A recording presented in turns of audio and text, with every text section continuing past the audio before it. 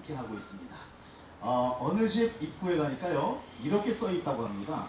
화내도 하루, 웃어도 하루. 어, 어차피 주어진 시간은 똑같은 하루니까요. 이왕이면은 긍정적인 마음으로 감사하며 살아가는 게 좋지 않을까 싶네요. 어떠세요, 여러분? 네. 자, 벌써 아쉽지만은 어, 열심히 달려오다 보니까 마무리할 시간이 되었습니다. 어, 예전에 활동했던 가수들의 노래를 들으면 우리가 또 잠시나마 그 시절을 추억할 수 있는 게 노래의 매력이 아닌가 이렇게 생각이 됩니다. 여러분 그 삼태기 하면은 다 아실 거예요. 아시죠? 네, 삼태기 메들리, 삼태기. 어, 삼태기의 무대를 즐기시면서 행복한 가요는 다음 주를 기약하겠습니다. 지금까지 진행의 이태현이었습니다. 여러분 안녕히 계십시오.